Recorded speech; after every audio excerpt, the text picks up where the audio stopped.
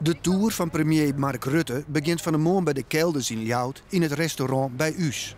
Hier praat hij met verskate ondernemers. We hebben eigenlijk gewoon over de economie, uh, heel kwart over de bron en uh, ja, hoe, heel, hoe, ja, hoe we dat in impuls kunnen gaan en ja, hoe wij, ja, waar ik vragen van goh, hoe zit het met de economie, waar met zoveel werkloosheid en dat tetra ik ja, prutte ondernemers het moeilijk hadden, mensen niet op met jouwen. En dat is eigenlijk een beetje waar we het eigenlijk gewoon hebben. En je nee maakt het Rutte zien rondje in de Ljouter binnen staat al.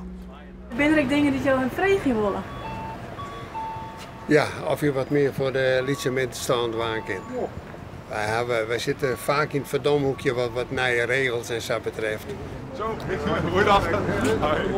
Hallo. Hoi. Goeie. Goeie. Goeie. Dat weer heel kwart, ja.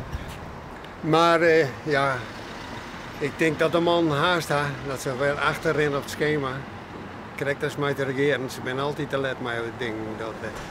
Dan zet het zelfskip aan naar het Jereveen, naar het distributiecentrum van de Lidl. Premier Rutte is hier omdat het een van de meest dwarseme gebouwen van Europa is. Daarna gaan ze terug naar de suivelfabrieken in Oonbouw van Eware en Fonterra. De minister-president liet hem hierbij praten hoe dit van Friesland grutte economische project.